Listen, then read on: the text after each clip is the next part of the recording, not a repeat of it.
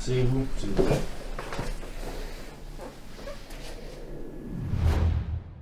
Euh, vous savez pourquoi vous êtes là, je suppose Non, non, vraiment pas. Vente de produits illicites Cette fois, j'ai des vraies preuves. Des empreintes. On les a retrouvées sur le poteau. Attendez, mais vous en êtes sûr?